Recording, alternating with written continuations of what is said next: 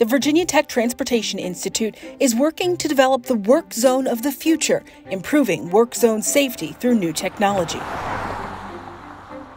The TMA is a truck-mounted attenuator. It's a, effectively a big rolling crash cushion that protects workers in work zones. They get hit quite often, and it's not a great job for those who are driving that vehicle. So it's a really nice use case for where automation can take somebody out of harm's way. There is two, two vehicles. Vehicles have uh, a, a radio frequency link to transmit data between each other.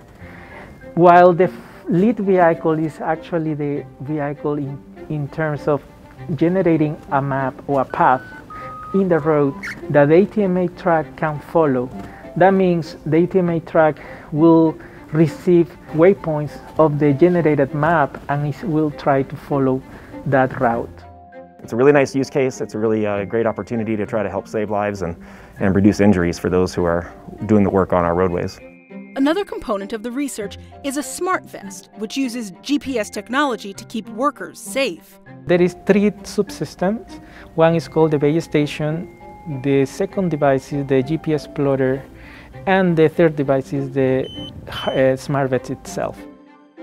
It gives us the ability to accurately localize where that individual is within the work zone and also be able to communicate that information to passing motorists so they know uh, if there's a potential for a collision, but also to give indications to the wearer of the vest as to whether or not an approaching vehicle might be out of control and heading towards them, or if they're stepping out of a geofenced area within the work zone that has effectively been defined as a safe spot.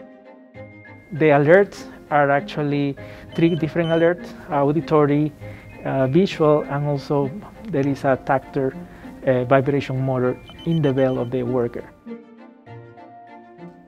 VTTI is also developing the Work Zone Builder application, a tablet based tool transportation workers can use to develop work zone layouts. So, effectively, you go look at the photogrammetry um, of a map and you define where you're going to do your work, and then you choose which type of construction zone you want to build and the application goes out and places all the signs on the road in terms of where they should be located. All that can be used then as a data package and be sent out to connected and automated vehicles.